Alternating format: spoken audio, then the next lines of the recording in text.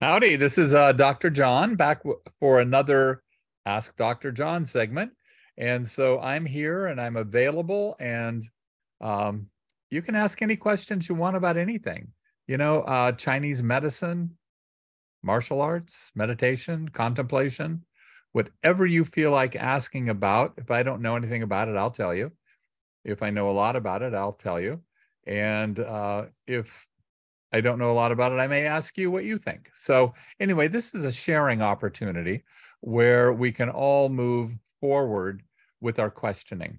And again, the love of my life, and in my opinion, the most important thing in life is questioning.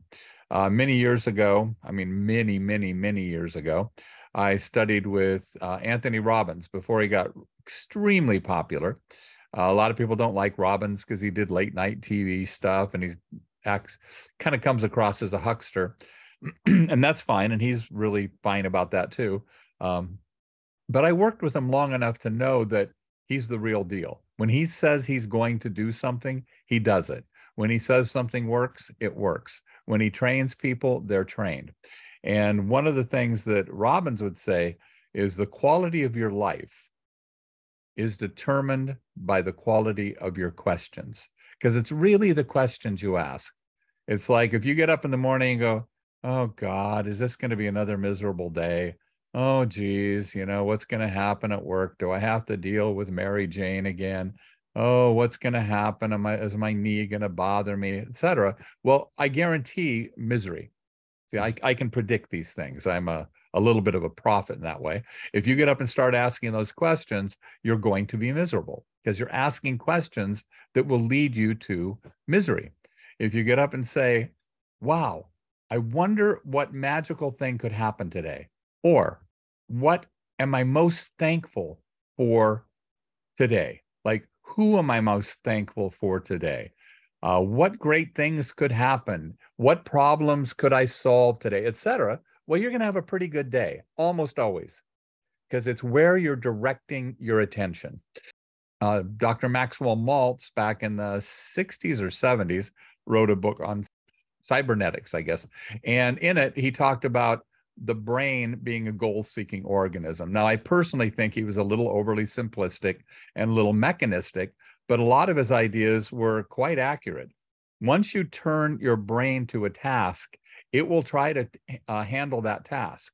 It's like Edison said, you know, he would hold a question, he would have an idea and he'd take a cat nap. And often during the cat nap or shortly afterwards, the answer would appear to him. Uh, Tesla said all of his inventions were created 100% in his mind. He never had to do experiments with anything, it was completed in his mind.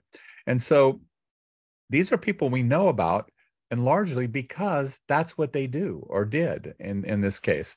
And so we can do that too. And one of the key things is anything someone else can accomplish, we have a good chance of accomplishing also. Now, you know, you get a major league baseball player. Uh, I I'm not going to hit 300. You know, I would I even when I was 20, I wasn't going to hit 300. Now that I'm 72, uh, I'm going to hit zero exactly right. So you know there are limitations in that way, but uh, we can either argue for our limitations or we can argue for our capacity. So today I want to talk about a very important subject. Uh, one of the most important subjects, actually, in terms of health. In fact, Stanford did a couple of surveys and said that 90, in one case, 85, in another case, 90% of all visits to medical doctors are because of this one problem. It's actually kind of one and a half problems, but they really narrowed it down. And so I'm going to talk about that today. I'm going to talk about what the problem is, misperceptions about the problem and misconceptions about the problem, and what you can do about it. All right. So I'm not going to give you a ton of ideas about what to do about it. You can find lots of places to go and figure this out, but I just want to point out some issues with it. So without further ado, I'm going to share my screen with you. So, what do we do about anxiety? Right? Good old anxiety. For many of us, it's a friend, it's something that we know intimately.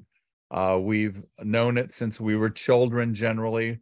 Very few people start developing anxiety in middle age. It does happen. It can happen for sure. Uh, but often these are things that uh, occurred or we were trained in or we learned at a very early age. You look at families and where anxiety is rampant kind of running through the families. Now there can be many reasons for that and I'm going to get into that, but a lot of it is a learned behavior that can be unlearned. And that's what I'm going to focus on. So, so we know anxiety is really troubling and bothersome. You know, anybody, any of you that had an anxiety attack, know it's like you think you're having a heart attack. In fact, it's one of the more common reasons that people go to the emergency room uh, is that they're having an anxiety attack, which they think is a heart attack, right? They're having trouble breathing, their heart's just pounding in their chest, they're sweating, you know, all these signs that could be a heart attack, but often it's anxiety. And we know that it can interfere with enjoyment. You know, a lot of people that won't do social, like during the pandemic.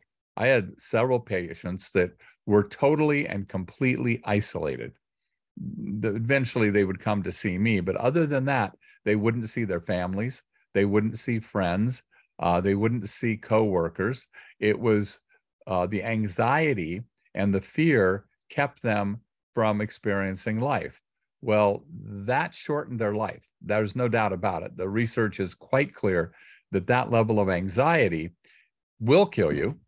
And uh, COVID was unlikely to kill you. In fact, when you look at the statistics, which are there, if you want to look at them, uh, COVID almost entirely killed people over 70, over 65 years old and with comorbidities. So the staying home, the being anxious, the being depressed actually will kill far more people than were directly killed by the virus. And so we know it can interfere with our relationships. You know, we get short with people, uh, we get irritable, we get angry easily with anxiety.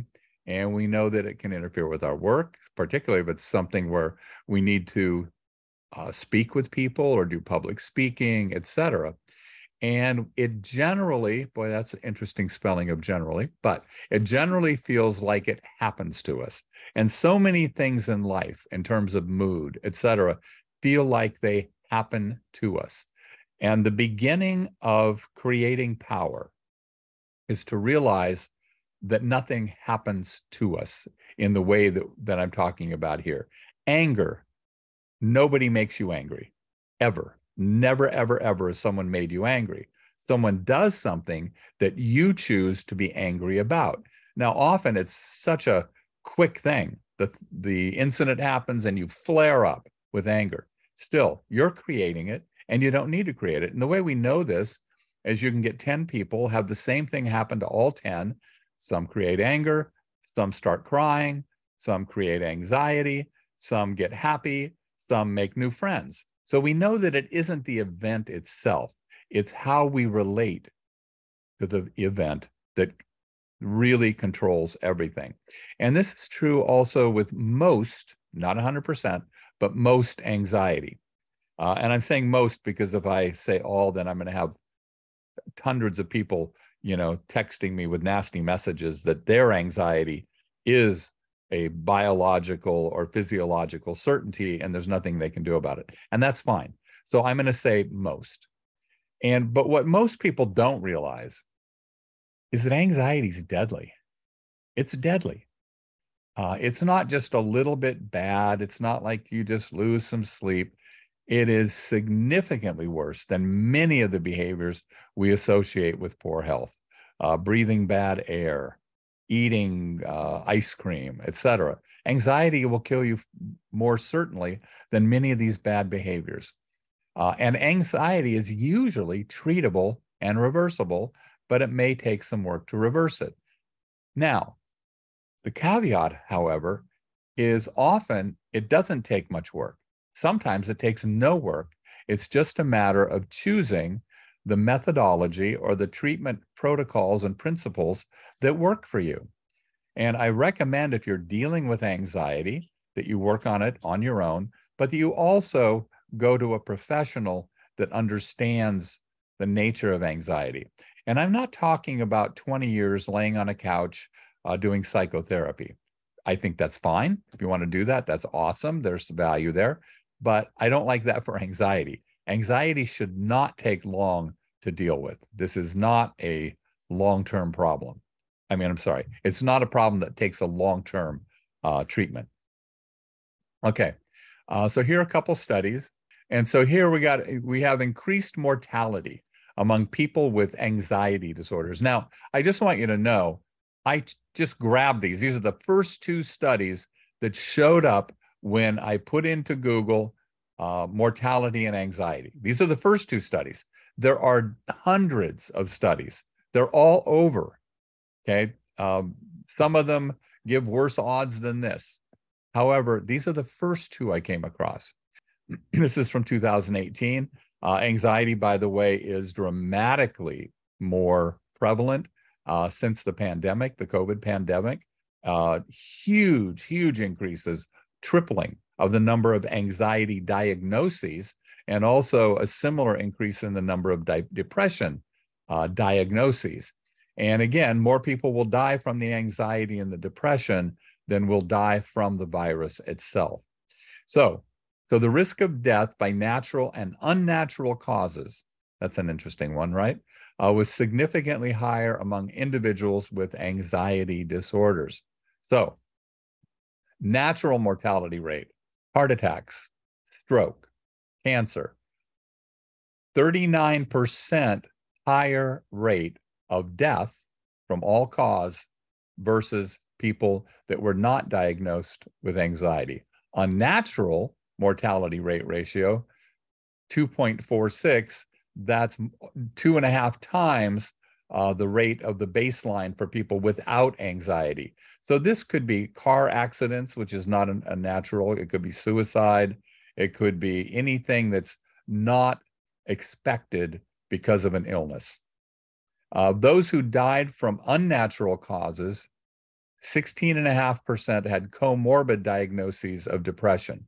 I probably won't get into it today. I may, but how anxiety and depression uh, support each other physiologically, how the hormones in our systems, uh, the neurotransmitters in our system, that once we have been uh, in a state of depression for a certain period of time, that anxiety is much easier to happen. When we've been in state of anxiety for a certain period of time, then depression is more likely to happen. At any rate, here, the MMR, right, which is the mortality rate ratio, was 11.72. That means it was 12 times, almost 12 times more likely, people were 12 times more likely to die if they had anxiety and depression than if they did not have anxiety depression. Now, I want to see a show of hands. How many of you, given that number, think it would be worth getting rid of or controlling your anxiety? Okay, not everybody, but that's a pretty good list. Now, everybody, raise your hands if you think it would be worth getting rid of depression. Now, depression's a tricky one. A lot of people that have depression really are not aware of it. And so, a lot of people with depression, you know, we look primarily at two different primary types of depression. Now, you know, there's a huge, huge range, a huge gamut of issues, but primarily I'm looking at uh, do you have a lot of negative self talk? like I'm worthless, you know, I just screwed up again. Nothing I do works out, that kind of stuff. Or do you have more where you just don't want to get off the couch? You know, it's like, yeah, I have to go to the bathroom and then I need to go to work and I don't want to do anything. I'm just going to lay here. Right. So that unwillingness, that lack of motivation. And those are really different issues in many ways. Now, sometimes they go together, right? You you have this negative self-talk well, usually it's that you don't want to do anything, you have no motivation, and then you start developing negative self talk about that. So both of those can occur. In general, and again, this is very gross, the negative self talk tends to be more of a serotonin issue. And the I don't want to get off the couch, I have no motivation tends to be more of a dopamine deficiency. Now, dopamine is the precursor for both epinephrine and norepinephrine. So those are two of the major, major, major, major anxiety neurotransmitters. Uh, as you know, when there's anxiety, your cortisol levels will go up.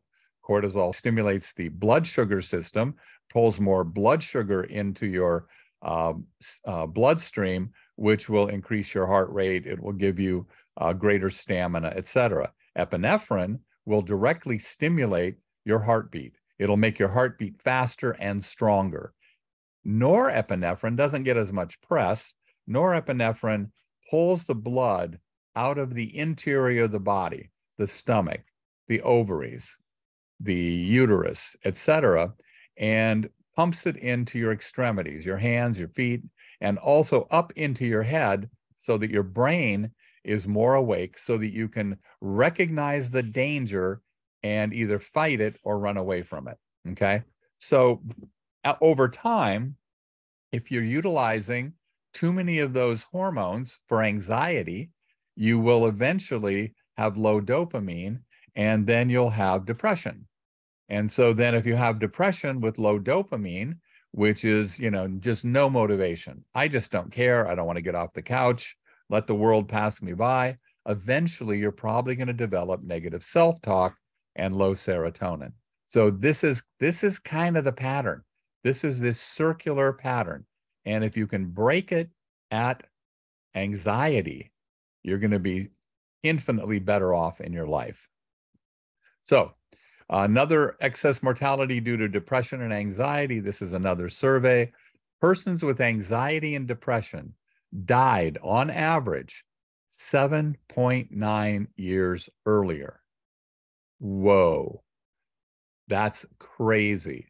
Eating badly generally won't do that. Drinking too much alcohol generally won't do that, uh, etc. So these are horrible, horrible, horrible numbers 7.9 years uh, at a population level, 3.5% of deaths. Now, that doesn't sound like a lot until you run it through the entire population and you read, realize that that's approximately 87,961 deaths that are attributable to anxiety and depression each year.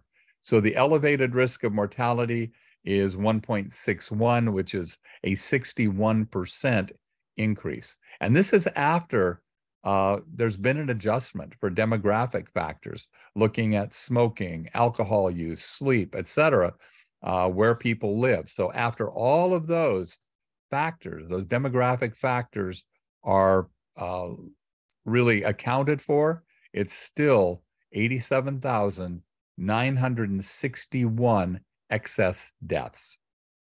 That's a, that's a scary number. Now, is anxiety a fixable problem?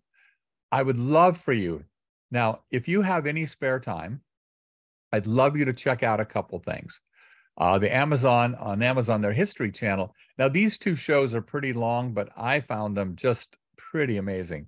On there's one on Theodore Roosevelt, which I knew who I knew very little about, and when you see his life story, it is amazing just amazing what this man was able to accomplish in the face of horrible odds. I mean, the deck being stacked against him in many, many ways, and he just refused to quit.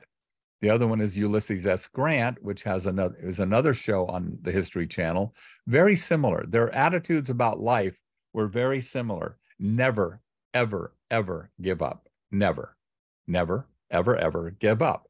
And don't experience anxiety. Now, they were clear what anxiety was, they were clear what that way of uh, thinking and being were, and they trained themselves to not have it from childhood, trained themselves to not experience that. Um, they both had rather difficult childhoods and they were traumatized deeply. And, you know, um, a, a lot of times people will use that or not get over that trauma. Roosevelt and Grant did and went on to live very, very fulfilling and powerful lives. And a couple others, and these are just for fun. Uh, the Roosevelt and Grant ones are, I think, are are quite telling and and really great stories for life. These other two on Netflix are just fun ones. Any of you who have seen Galaxy Quest, the mm-hmm. absurd takeoff on Star Trek, uh, and in there it talks about Grabthar's hammer but basically the idea is never give up, right? That's their there's it's much longer than that, but there's a saying they have which is really cute and uh I think worth watching. And the other one is one of my favorite scenes in a movie. Now, this is from Bridge of Spies. And in this movie, the main character is a man named Abel. Abel is a spy, and he's caught red-handed spying for the Soviet Union. And he, the the Soviet Union, the Russians disavow him. He's not an American citizen, and he's uh, very likely going to be tried and executed for treason. And Tom Hanks is his attorney.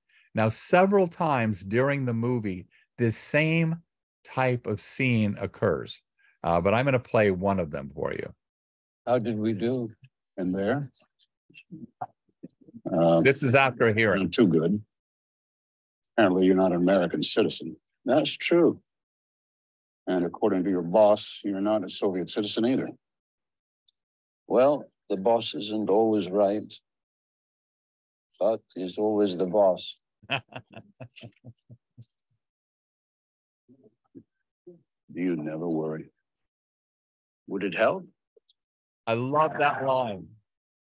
Would it help?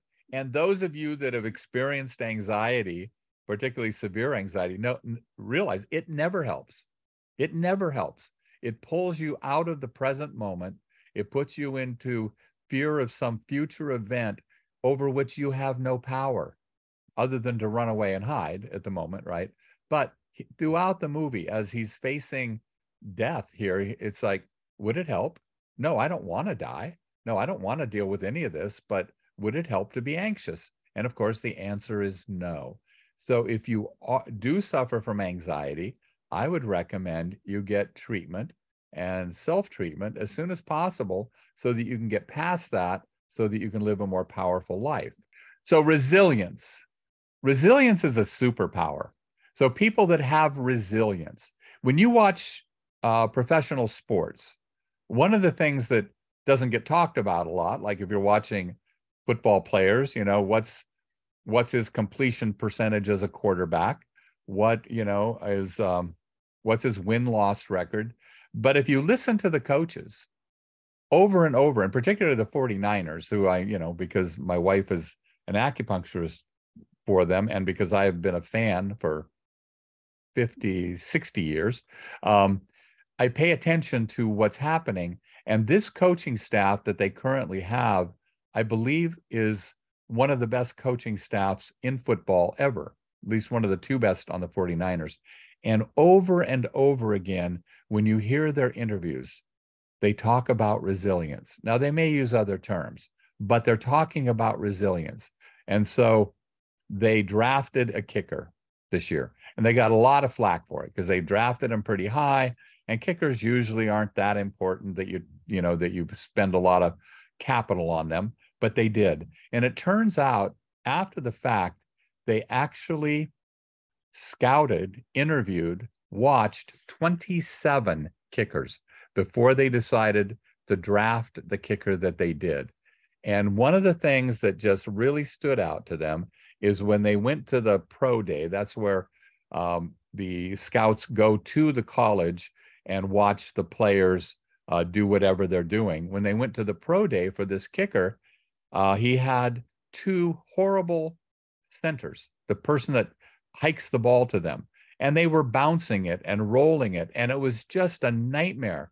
But instead of giving up, instead of saying, oh my God, I can't do this, this is unfair, this is unfair, uh, he just kept kicking. And that was the most important factor. Now, he had a good leg, he kicked really well, he was very accurate. But what pushed them over the top into drafting him with a premium draft choice was his ability under pressure, his resilience. When things went bad, he got tougher. He didn't get anxious, he didn't panic, he just went about his job. He focused. Instead of focusing on what could go wrong and what had gone wrong, he focused 100% on what it was that he was attempting to uh, create. What was the job that he was there to do? And so, this ability to adapt and overcome adversities and setbacks and emerge stronger, right? And so, that's a, the superpower. Now, I call it a superpower for several reasons. Uh, most people that you see, read about that have done great things in the world had the superpower of resilience. They didn't all have it made. I mean, that's a, a old wives' tale, a story. You know, different types of privilege, and some people do have more privilege than other. But nobody makes it without resilience. I don't care who, who you are. I mean, you get people that come from billionaire families that fail miserably. They're in drug rehab all the time. In fact, that's probably more the norm than the exception. The people coming from those very privileged environments often do the worst. So, along that line, there are several studies that show that optimism predicts greater health and longevity. And this one study that I was looking at was even in cancer patients. Patients with cancer live longer, more often kicked the cancer, and it went into um, remission. And they had greater happiness in their life when they were optimistic. Now, this is, I'm talking about rather unreal optimism. Okay. And so they divided people into three categories the pessimist, the quote, realist, and the optimist. The pessimist saw the glass is half full and oh my God, it's never going to be more than that. We're going to run out of out of whatever the drink is really soon. And the realist, it's like, well, it's half full and okay, we'll see what happens. And the optimist, it's half full. Isn't that awesome? You know, and they're looking at all the positivity of it. So some people call that unreasonable. I call it resilience and a superpower. So be willing to look a little silly sometimes and be optimistic. So the glass is half full. Uh, so positive thinking. And here's this isn't a, a woo woo thing. This isn't something that's like way out there. This is solid science. Believe me, it's solid, solid. Positive thinking increases dopamine, right? One of the the the primary reward chemical. It's the thing that is one of the primary or the chemical that's one of the primary causes us of uh, our having enthusiasm, of our having energy to take on projects, of our getting joy out of finishing projects. Serotonin, uh, which tells us that we're loved. It helps create relationships. Uh, and then oxytocin, which is the lifeblood of intimacy right? It's what bonds mommy to baby while while baby is nursing or being held. It's also what bonds couples. If you look deeply into someone's eyes for a certain period of time, it increases oxytocin, and then love happens, or closeness happens, or attraction happens. Sex. Uh, men who have orgasm have three to four times the oxytocin increase. Women that have orgasm have also have an oxytocin increase. It's not quite as dramatic. Um, I didn't make up the rules. But so you get increases in dopamine, serotonin, oxytocin, and those ever, ever loving endorphins, those chemicals that make you feel good, that create the runner's high, the workout high, etc.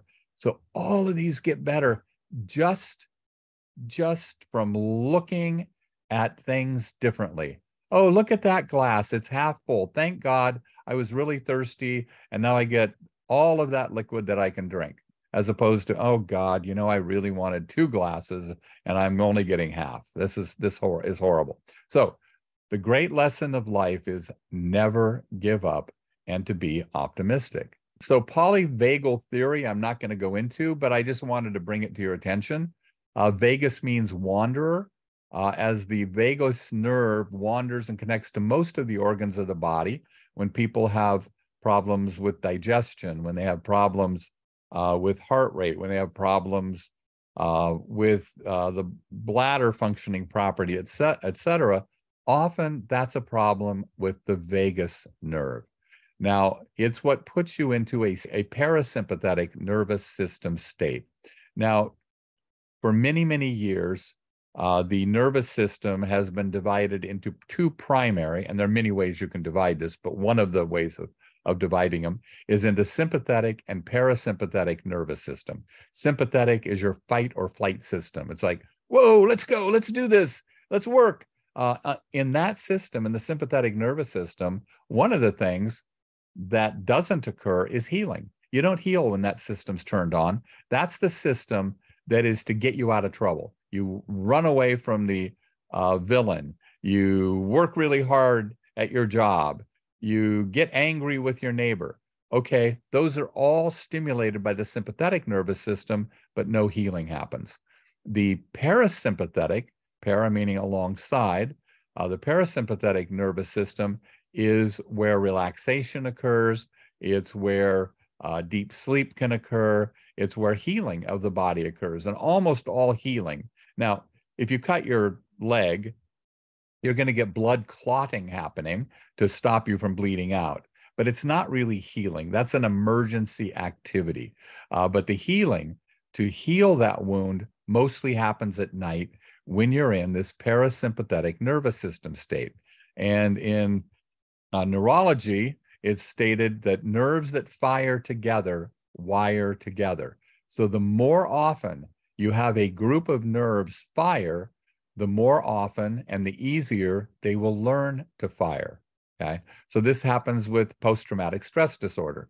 As bad experiences are relived, they get stronger. Now, most things get weaker over time, most like memories. I don't remember anything that happened when I was in fourth grade. I mean, literally, I can't remember a thing from fourth grade. Remember a couple things from third grade because I like my teacher, but fourth, no, I don't remember anything.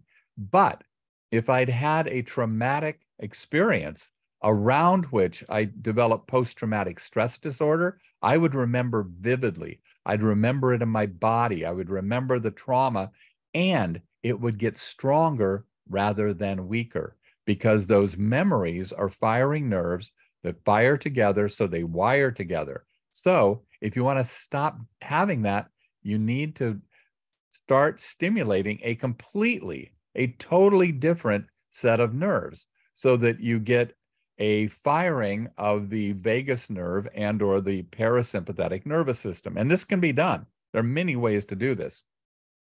And the more we use it, the easier the pathway is to access. When I was training martial arts, um, when I was serious, I mean, really serious about it, I was going to fight in tournaments. And my teacher, um, who was an incredibly compassionate man, would beat the crap out of me. Mm-hmm. And so what he would do, you know, is he would start punching at me and I would dodge. That was my job. I would dodge his punches and he would start punching faster and faster and faster. And I would dodge faster and faster and faster. And eventually I'd reach a point where I couldn't go any further. Now, that wasn't true that I couldn't go further. It's just that I reached a certain place where I was willing to give up. And so he wouldn't stop hitting me. Okay. It's like, I'm done. You know, leave me alone. No, he's going to keep hitting me. So eventually I started dodging again. And over time, I realized that that place I was quitting before was very early on in my stress and that I could go way beyond that, way beyond that before I would finally feel overwhelmed. And finally, I got to the point where it was almost impossible to overwhelm me. So that was the training.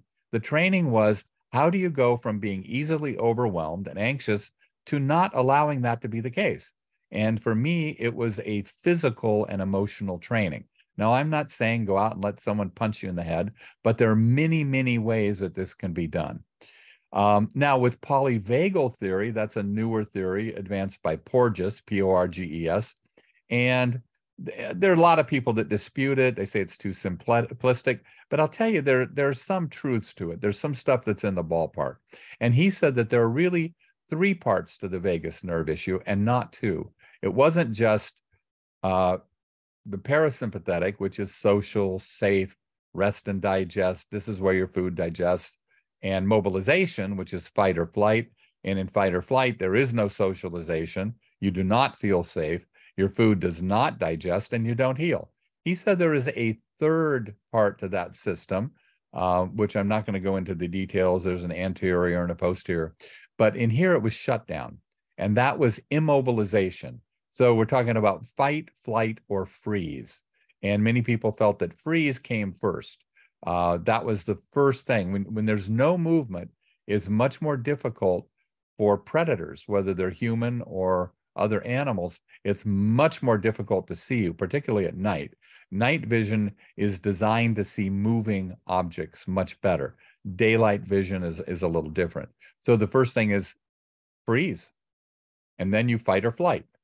And when everything is safe, then you go back to social and safe or the parasympathetic nervous system. So the point is to train yourself to move from fight or flight or shutdown to rest and digest and parasympathetic nervous system. Now, I have seen this happen in 15 minutes. I've seen people train this. I've seen many people train it in an hour. Um, I was certified by Anthony Robbins many years ago. I mean, uh, practically centuries ago, at least decades ago.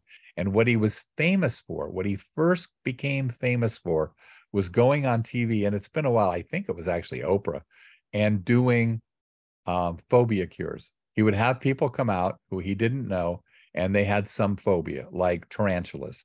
And on screen, live on Oprah, he would work with people so they got over their phobias in a matter of minutes. I'm I'm talking minutes. Now I've seen him do this with many people, many things. So I know that this can happen quickly. So you got to get over the idea that it's happening to you, that you're creating it, that it can be fixed, and most importantly, that you need to fix it. 7.9 years off your life, that's a long time. So, you know, if the average person goes on statin drugs, okay, they've had a heart attack, they go on statins, they're religious about it, right? The average increase in lifespan, average, is four days. Okay. Four days from doing your statins or 7.9 years from getting over your anxiety. Trust me, it's well worth it. So, possibilities acupuncture. The number one thing that we treat in acupuncture over the last decade is drum roll, please anxiety. We treat anxiety every day. There are body acupuncture points, there are ear acupuncture systems very effectively. Herbs that will help. They won't retrain you though. They can help calm things down while you're getting retrained. And uh, some of our herbs are practically magical for that. A variety of supplements that are also very effective. And you may know a lot of them, L-theanine, GABA, etc. Uh, there are many of them. Nutrition one of the things that we see is that people that have certain types of malnutrition are much more like, and this is subclinical. This isn't, these aren't things that you would go to your medical doctor for nutrition problems. This is kind of borderline or barely low uh, zinc issues, copper zinc uh, ratios, uh, ferritin levels, things like that can have a big effect on anxiety. Um, so nutrition, meditation, ultimately that's going to be your savior. Uh, EFT, emotional freedom technique. EFT is an offshoot of, of acupuncture and then acupressure practices. Uh, it's often called tapping because you're tapping certain points or points along the acupuncture meridians, typically repeating something, not a mantra, but like a mantra as you're doing it. And this can be incredibly effective. One of uh, Kathryn actually mentioned she knows somebody very well who had severe anxiety around an issue, did one session of EFT with an accomplished master EFT practitioner, completely got rid of their anxiety. And it's never, this has been years and it hasn't come back. So EFT can be very powerful. I'd recommend that the first time you do it, you go to a professional. After that, you can practice on your own. I recommend doing it daily. Uh, start reading books or watch or listen to programs about perseverance. Okay. It can be quite moving to your soul. A slow immersion into stress. Don't dive in head first. You know, start building up with all of these techniques and then start slowly working, generally with a professional, into immersion into uh, more stressful situations now we do this all the time. I had, I think, three or four patients today whose primary issues were around anxiety, who are now almost completely free of any signs of anxiety. And of course, because that of that, they sleep better, they're happier, their relationships are better, their bowel movements are better. Uh, pretty much everything is better because the anxiety level is gone down. and then cognitive behavior therapy. So this is a form of uh, therapy. You'd see a therapist, you know, a psychologist, and it, with cognitive behavior therapy, it's generally pretty quick. They're going to give you a set of tools. So when situation A arises, what do I say to myself? When situation B arises, what do I say to myself? So here you have a lot of control over the process. In fact, through most of these, you have a lot of control over the process. Uh, any of these can work. I recommend if you have even slight anxiety, right? You know, you don't like public speaking. You know, the phone rings and you get a little freaked out. You get a letter from the IRS and, you know, your body, you start sweating and, you know, it, it's horrible. So, any of those things, I recommend that you get treatment, one of these treatments or something else for that. You'll be happier, you'll be much healthier, you'll live longer, and you'll be a lot more fun to be around.